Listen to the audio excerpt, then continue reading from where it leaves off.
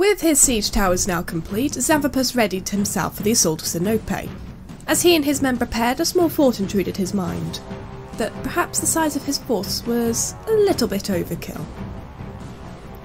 Armoured hoplites scaled the towers that had made the journey to the undefended wall of Sinope with little effort. With no one opposing them, the hoplites made quick work of capturing the city's defences and ultimately the gates, allowing for the militia cavalry to charge right through and participate in the capture of the city for quite possibly the first time in the Greeks' campaign so far.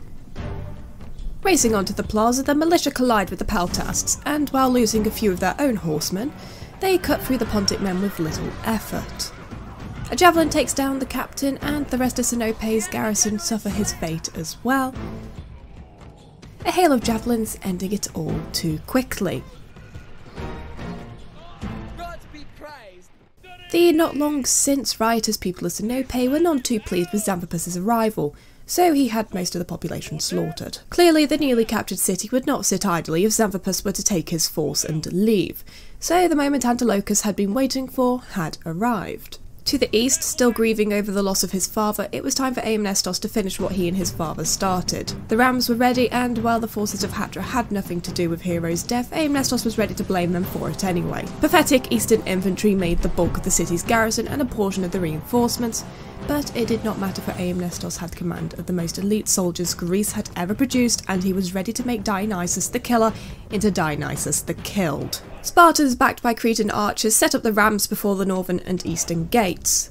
The battle began and the rams begin their journey to their respective gates, all while creeping from the west came the reinforcements. If they were wise, they would stay there.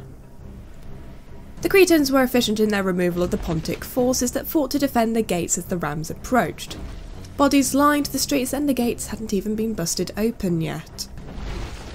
With both gates now open, the Spartans flooded into the streets. Any opposition was quickly thwarted by the Cretan archers. But the Spartans would need to move faster. It seemed that wisdom was not on the tables for the Pontic reinforcements. A shame. The eastern Spartans were making good progress through the town, cutting down and breaking all who opposed them.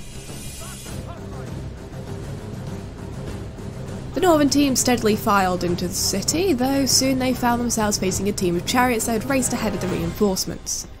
The Spartans dealt with them with very little effort on their part. Chariots on one side and a charging general's unit on the other Sanzes was clearly lacking the wisdom as well as he charges his bodyguard into the wall of Spartans. The chariots were gone and so too was Pharthanzes, and from over the hill Dionysus and his force steadily approached. The Spartans moved with haste to block the broken gates, protecting our advancing comrades from potential chariots to the rear. With the flanks protected, the flood onto the plaza began, Hundreds of red-cloaked Spartans pushed through the square and the helpless bronze shields. The Pontic men falling beneath the Spartans with ease, surely the elite of the Pontic forces would put up a little more of a fight. But it appeared that today would not be that day for the bronze shields are quickly removed from the town and the time to victory began. Though the Spartans must hurry if they're going to defend the streets from the reinforcements in time, the hoplites filled the streets their spears down and ready for the enemy's advances, the men backed by the trusty archers that held the town centre. The wave of eastern infantry and mercenaries finally came into contact with the Spartans. The Pontic men tired and already wavering, and their archers could do nothing to get past the Spartans' armour. The weak infantry were no challenge for the Spartans and the men were quickly dealt with, with minimal losses. Only two more Pontic units remained, which quickly turned to one as the Southern Eastern Infantry broke immediately once coming into contact with Greek spears. The Spartans took the men down without a sweat and were ready for the next and final wave of opposition. The exhausted infantry raced towards the town centre that they were commanded to protect. They had seconds to make it. But alas, they failed, though the Greeks were willing to give them a fair chance and allowed the battle to continue, for it most certainly wasn't so the Spartans could shred through the last remaining men like they were wet tissue paper. Regardless of the reasoning, the battle continued and the last Pontic men fell beneath Spartans and the town of Hatra now belonged to the Greeks. Now lacking the skilled surgeons that had passed with Hero, significantly fewer of the elite men recovered from their injuries. The progressing age of the warriors surely mustn't be helping either. The small desert town had barely any population and they seemed happy enough with Aeimnestos' occupancy.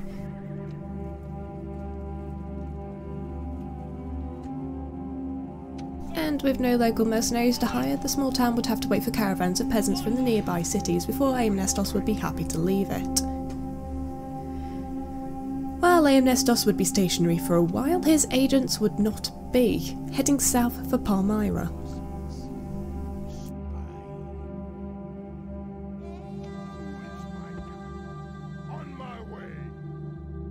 During the summer of 214 BC, Nicodromos advances closer to Antioch, hoping that the city would hold out and the Egyptians hold off until he got there. To the west, Epigeus steadily makes his way east to join his family in conquering the east. And Antilochus gets ever closer to Sinope to relieve Xanthippus. With the infrastructure of the city now repaired, Xanthippus's forces could now be retrained. Near Hatra, a Pontic general showed his face, and Damastor, eager for his next kill, immediately swooped in and eliminated the man. And Damian the spy infiltrates Palmyra, finding a single general defending the town. A little to the west, agents begin to infiltrate Jerusalem, ready for Dimas' eventual arrival. During the transition from summer to winter, Campus Jazyges comes under siege, though not from the expected party. The British betrayal was to be expected, but perhaps not this soon. Captain Prasutagus did not appear to have fought ahead with his besiegement force, bringing with him mostly missile chariots. With Antilochus now in range of the city, Xanthippus was finally ready to leave Sinope and begin his travels south. Nicodromos marched his army to the northern gates of Antioch, ready to reinforce the city in their hour of need. With the troops in place, the peasants of Antioch engaged the Egyptians, but quickly found that Nicodromos was still out of reach. A messenger was able to sneak out of the city and inform the general of the predicament. Nicodromos repositioned to attack the Egyptian army, and both he and the citizens of Antioch hoped that the Egyptians would hold off once more. To the north, Dusitius was ready to fend off the British army. While Campus Jazyges mostly fielded peasants, the city still contained four units of Cretan archers and militia cavalry. The Cretans were lined up along the walls of Campus Jazyges, firing down on the manoeuvring Brits. Arrows rained down on the vulnerable chariots, taking down a few as they passed by. With the Britons now out of the way, the militia cavalry could leave the city. Chosen swordsmen attempt to charge the light cavalry, but the Cretans are quick to make them regret their decision. Deciding to cut their losses, the Britons began their retreat, and the militia cavalry chased them down, charging into the missile infantry, cutting down as many as they could before the Brits left the battlefield.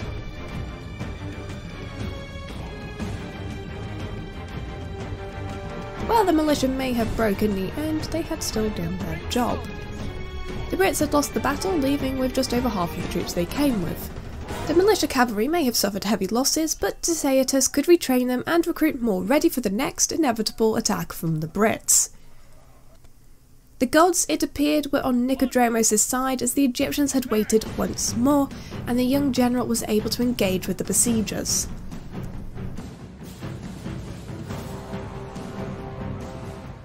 The Egyptians were surrounded. Cretans were already firing down on the Egyptian infantry as the chariots split off for the forces of Antioch. The Bedouin archers didn't last long against the heavy chariots, and the Arab cavalry quickly follow in the retreat. The peasants charged into the chariots, and while the peasants fell like dominoes, their bodies were clogging up the chariots and the deadly skives, allowing the next wave of peasants to attack.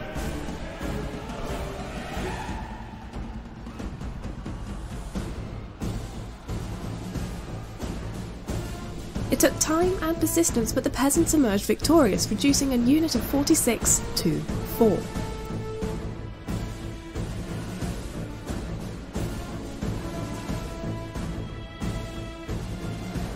The Desert Cavalry would be the peasants' next victim, and it appeared that their valiant victory over the chariots was enough to send the Egyptians retreating from the field. The Greeks chased down the cowardly Egyptians, Nicodromos taking down any of the struggling infantry until none remained. What remained of the Egyptians retreated to the south, and having been under siege for so long, Antioch was understandably upset, and so Nicodromos took up occupancy of the city. In Palmyra, it was discovered that the measly general that was defending the town was in fact the faction leader, and while he only had a 17% chance of success, Damastor could not turn up an opportunity like this. Even if he failed, surely an agent of his caliber would be able to get away.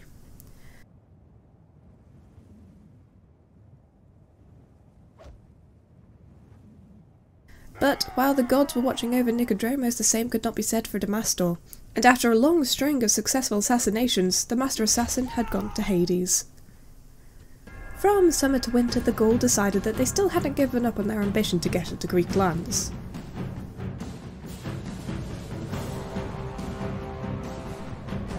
The armoured hoplites raced to surround their end of the bridge, their spears falling in time for the first wave of warband to run right into them. The archers and militia cavalry lined up behind the hoplite horde, firing down on the densely clustered Gaul crossing the bridge.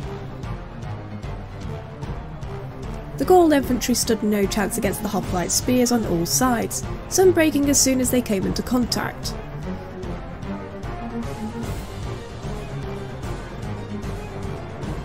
Some of the Gaul tried to swim across the river, not realising that they had yet to gain that ability and would not gain it for another 576 years.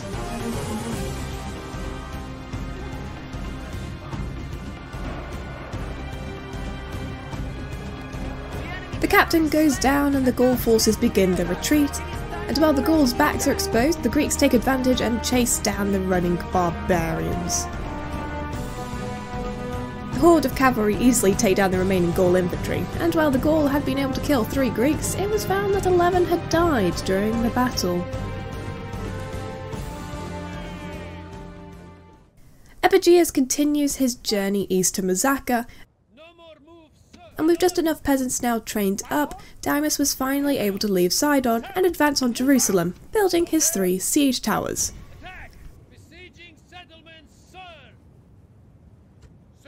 And finally, Xanthippus continues his way south.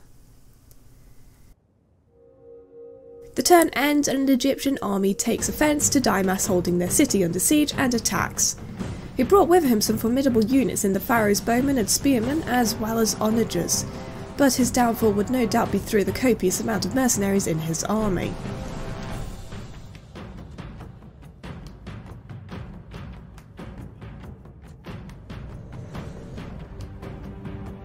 Darius was surrounded on both sides, the reinforcements of Jerusalem directly behind him and the forces of Tutankhamun stretching out before him.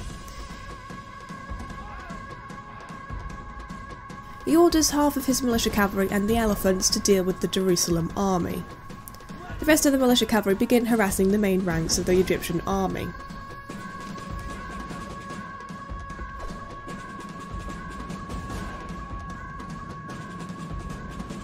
The militia and elephants had been doing a wonderful job of dealing with the Jerusalem force, but the Egyptians had been able to send the elephants berserk, and while the great beasts were still taking out the enemy, the panicked animals were easy to take down.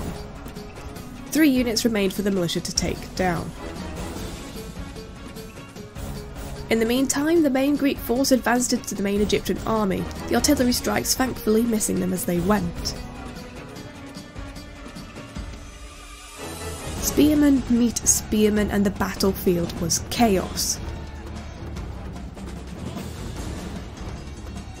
The militia cavalry, now freed from dealing with the Jerusalem army, were sent to deal with the onagers. The Greek hoplites were steadily making their way through the Egyptians, but the rocks from the onagers certainly did not help in keeping the casualties low. The Egyptians were beginning to flee, but the Greeks' numbers were steadily falling.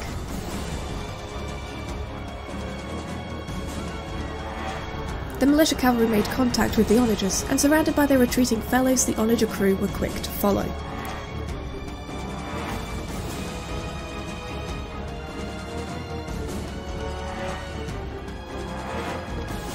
The hoplites were surrounded, but they too surrounded the Egyptians. Using their struggling numbers, the Greeks picked away at each of the Egyptians' units, the archers supporting from the rear.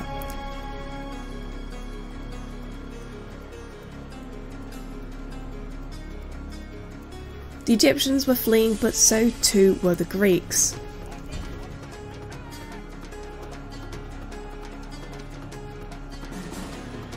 Mostly missile infantry remained, and what was left of the hoplites and Dimas advanced and charged. The Egyptians crumbled beneath the Greeks, and soon not many remained.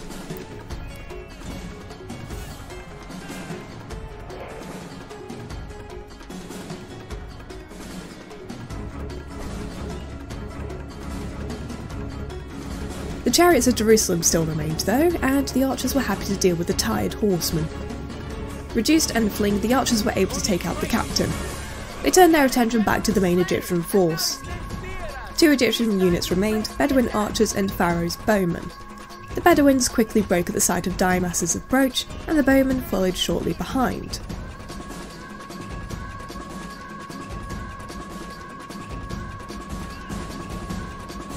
Dimas refused the call of surrender and vowed to take down each of the remaining Egyptian men, and take them down he did until a singular bowman remained. Dimas came charging down from atop the hill, the bowman trying to run and escape, shouting in fear.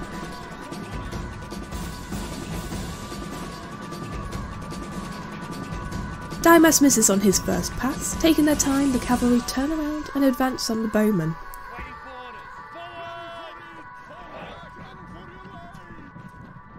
And with great precision, a member of the general's bodyguard strikes the bowman in his back, crumpling his spine and sending him to the ground. The battle was won, yes, but not without substantial losses, though at the very least none of the units had been fully lost.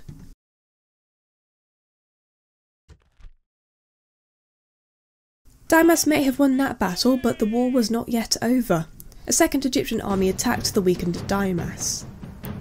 Greek general was well and truly outnumbered, but the Egyptians fielded basic lads. The odds were one to one and the battle could go either way.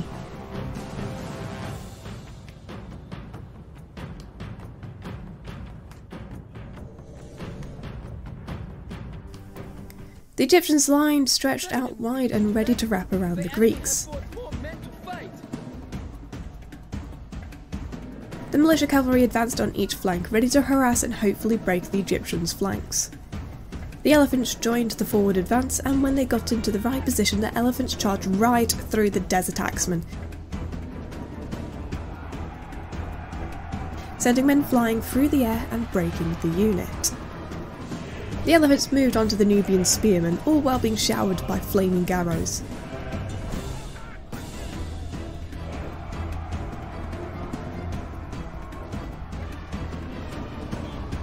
They tossed spearmen around, a stray tusk hit the captain of the Egyptian force. With the main line disrupted enough now, the elephants moved their focus to the bowmen. Their flaming arrows are real risks to the elephants' morale. But just as the beasts were about to begin their charge, the bowmen released one last volley of flaming arrows, and it was enough to send the elephants running in fear. The troops that the elephants had once so easily merged through took down the great beasts, and with a cheer from the Egyptians the last elephant fell, burned to a crisp.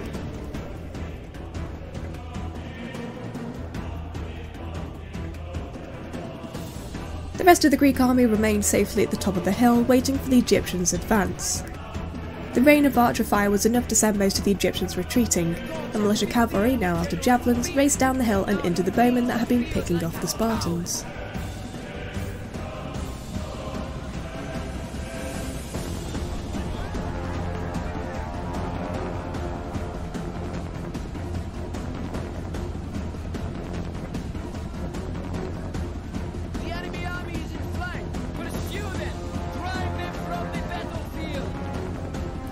The militia had been cutting through the bowmen with success, but something changed and the cavalry were sent retreating.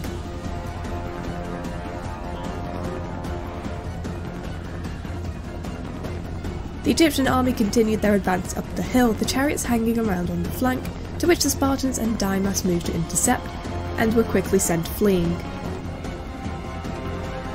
The two lines of spearmen engaged with each other, the Egyptians at a clear disadvantage, being exhausted from their climb, soon enough most of the Egyptians were broken and routing. With the field now filled with running troops, Dimas took chase, moving from unit to unit and eliminating them, until the last man goes down. Dimas took fewer casualties this time, and a majority of the Egyptian forces had been eliminated, but it was the end of the line for the elephants. This time, the animals could not be recovered. The army of Jerusalem had finally been defeated and the city was now under Greek control. The massive population was not too pleased with this change of ownership, so Dimas had them exterminated. To the north, the British once more lay siege to Campus Jazyges and another suitor was rejected due to Drillmaster. This time, the British had brought a more suitable army, bringing a lot of swordsmen and an accompanying force with warband. In Jerusalem, Dimas began rebuilding his own army and placating the huge city. To the north, Epigeus makes it to Mazaka, ready to start building his own army. And in Campus Jazyges, Dusetius rises once more to defend his home from the British.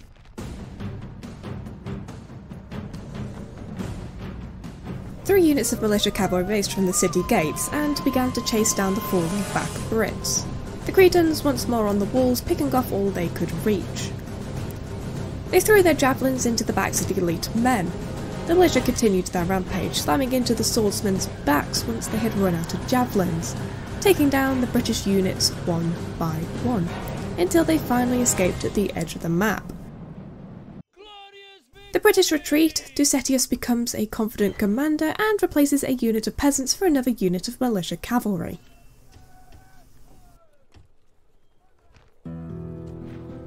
The start of the winter of 212 BC brings not only snow but another besieging British army, and finally a suitable betrothal shows himself, young and having himself a good set of traits. It feels a shame that he will only garrison cities. Britons appear to have gone back a step by bringing a lot of chariots, but at least this time they brought a general. A nearby assassin attempts to take out Quinfar, but ultimately fails in the end. If one agent can't do the job, perhaps another can. A local diplomat sidles up to the general and offers a deal that Quinfar just wouldn't be able to refuse.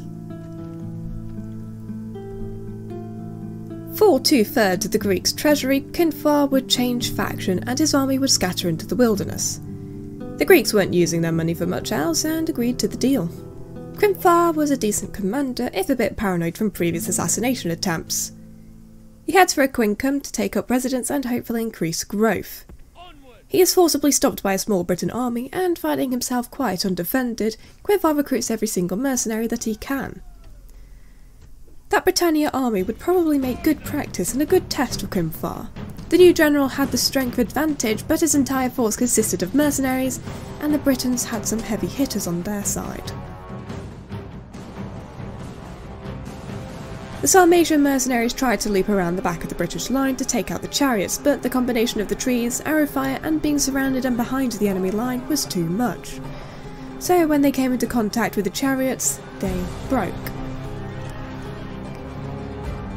With the Sarmatians down, the Britons began to fall back and leave the battlefield. Sensing their opportunity, the Greeks threw money charged from the tree line and into the backs of the retreating Brits. Quinfar continued to slam into the Briton units until the call surrender was given, which he ignored and continued to slaughter the running men. With the battle over, he continued his journey to Aquincum, as well as becoming a superior commander, as well as gaining himself a shield bearer.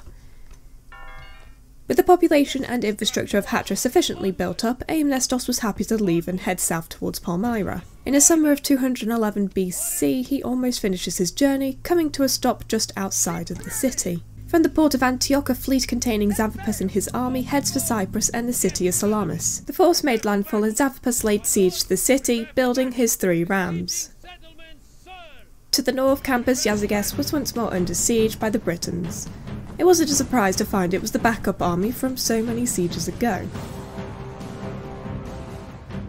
Four units of militia cavalry chase the Briton army across the field, firing javelins and then charging into their backs as they leave the battlefield, surrounding and taking down the men unit by unit, killing just over 1,000 men in the end.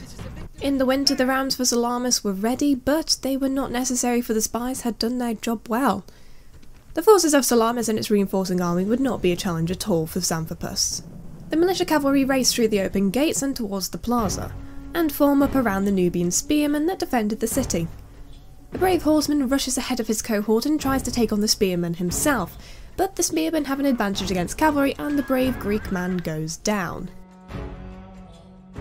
The rest of the militia arrive on the plaza and the javelins tear the spearmen apart, and when they run out of their ammunition, they charge into the weakened men, defeating them and starting the victory timer. The gods be praised! The enemy general is dead! His men know their doom approaches! Orders completed, Commander! The reinforcement team decided that the best gate to enter through was the one in front of the Greek army. As such, the archers were happy enough to prevent the Egyptians from making it to the city.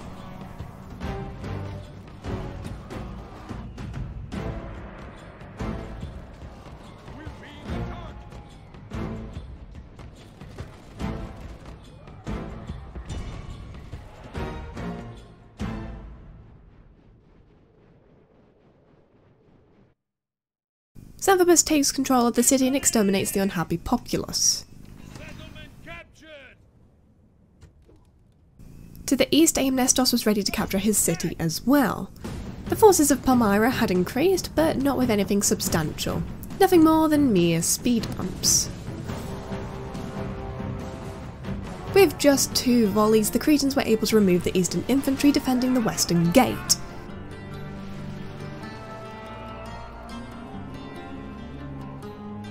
With them gone, the Spartans began the advance into the city. Backed by the archers, the Spartans plugged the end of the street, the Pontic faction leader charging right into the line of spears and throwing away his life.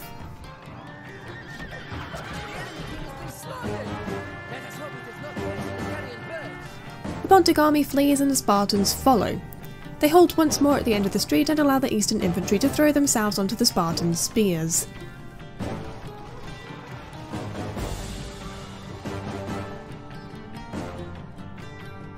Spartans eventually cut down most of the infantry and work on mopping up the stragglers.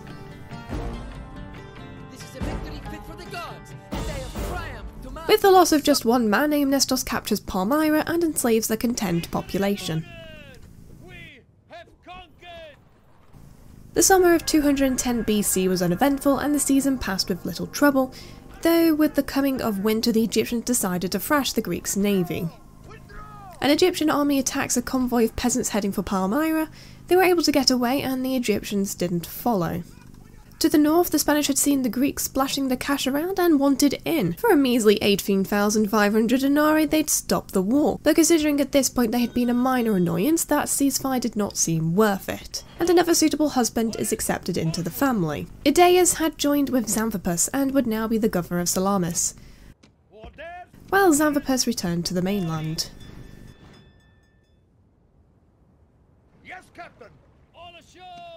From Mazaka, with a newly trained army, Epigeus moves south, ready to join the rest of his family. The peasants made it to Palmyra, and Aeimnestos was able to leave the city. He hires a unit of Bedouin archers, and with a spy now within its walls, he heads for Damascus, pushing an Egyptian army out of the way. His forces were unable to make it to the city, though. In the summer, Aeimnestos laid siege to the city surrounded by Egyptian armies, and the gates were open. Hey there guys, thank you all so much for watching. If you enjoyed the video, consider leaving a like or even commenting down below.